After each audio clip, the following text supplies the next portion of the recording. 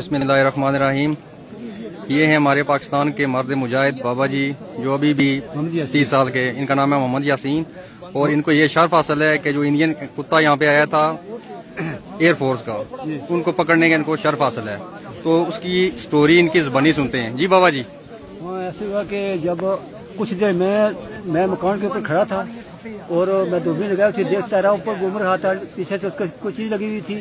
اور اس کے بعد اوپر سے زبردست سیلنگ ہو رہی تھی۔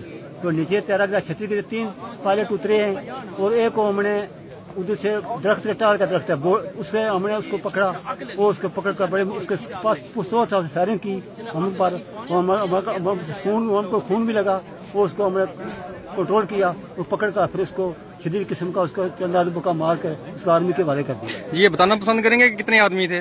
آدمی ہمارے پاس؟ ہے جی جی نہیں نہیں ان کے جو کتنے آدمی تھے جو جہاز سے نکلے؟ زیادہ تین شوٹ سے پیراشوٹ سے اترے ہیں؟ جی تین آدمی جی جی۔ اور اوپر سے ایک ادھر چلا گیا اوپر بڑھ گئے ایک ہمارے گرا ہے اور ایک تن پاس چلا گیا تین شوٹ انہوں نے آگے سے کوئی مزاحمت کی ہے؟ مزاحمت کافی کی انہوں نے بہت زیادہ مزاحمت کی ان کے پاس کوئی ہتھیار تھا؟ اچھا پستول تھا اس کے ساتھ یہ پیور پستول تھا۔ ٹھیک ہے۔ سارے کیے وہ بندہ زخمی تھا؟ ایک تو یہ بھی ہمارا پنجا تھا ایک ہم تھا ایک آدمی تھا ہمارا شاہ صاحب سے اچھا نے اچھا۔ پکڑا ہمیں تو یہ جو خون لگا ہوا آپ کا یہ جو خون لگا ہوا ہے یہ یہ اس کا کا خون لگا ہوا یہ ہے اس سکھ کا ہے اچھا اچھا۔ وہ سکھ تھے؟ ہاں سکھ تھے ٹھیک ٹھیک۔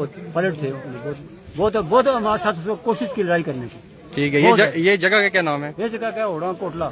کوٹلا۔ کوٹلا اوڑا چرکنی ٹھیک ہے۔ یہ ناظرین دیکھیں گے یہاں پہ انڈین ایئر فورس کا ہتھیارہ گرا ہے بلکہ گرایا گیا پاکستان آرمی کی طرف سے۔ پھر بڑے بڑے کو بعد دعوے کر رہے تھے کہ ہم یہ کر دیں گے، وہ کر دیں گے۔ ان کی اصلی اصلیت یہ ہے۔ اور یہ بابا جی ہیں جنہوں نے ان کو پکڑا ہے۔